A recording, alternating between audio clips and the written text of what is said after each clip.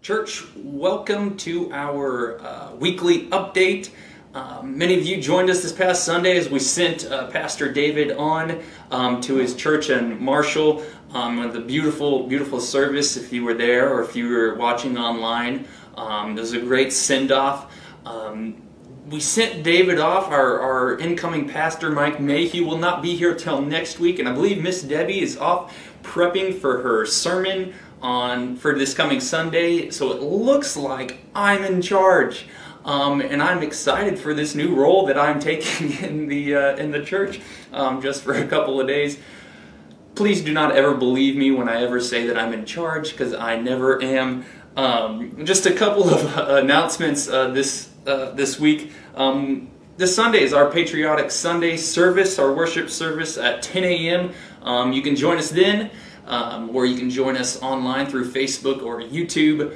Um, if you are joining in person, uh, our numbers are starting to pick back up, which is great. But let's make sure we are following those uh, social distance guidelines um, that have been uh, put out for us. Um, this uh, the week after this Sunday uh, is going to be our new pastor's first Sunday um, preaching. Mike Mayhew. We're excited. Um, the staff got to meet him a couple weeks ago, and man, what a what a guy. Uh, we, we are pumped for him to be here. Um, excited him and Lisa to, to join our, our ministry.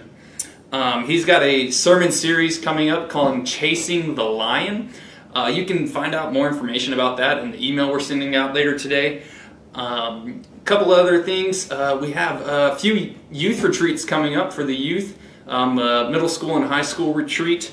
Um, you can find out more information. Contact me if you want any more information on that. Make sure we look at the uh, deadlines for those coming up. Um, one last thing, if you would uh, are wanting to give and you aren't really sure how how to give to the church, uh, you can give um, one by mailing a check to us.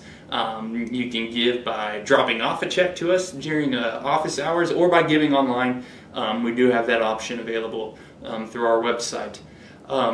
Be be in prayers as there's a lot going on in the church. Um, there's a lot going on in the, in the world. Um, being prayers for us, be in prayer with us, um, and we're excited and we're ready to see what all of God is uh, going to do through our church here.